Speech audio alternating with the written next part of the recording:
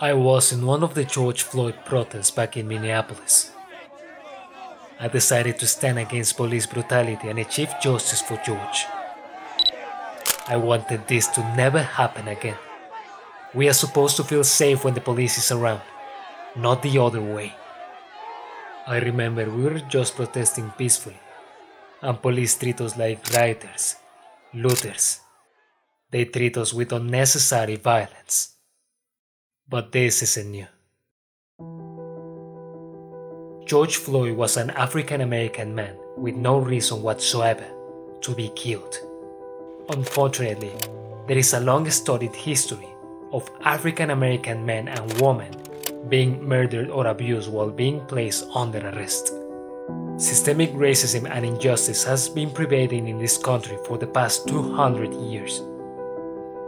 There is no room to debate about.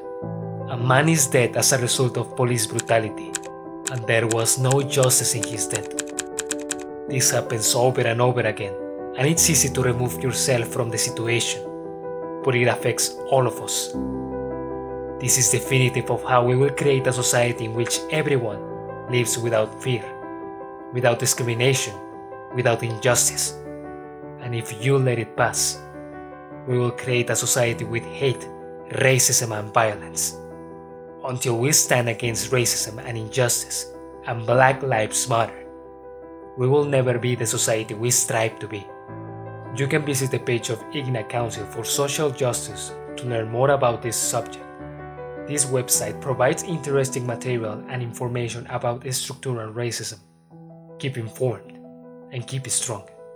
We shall not let this happen again.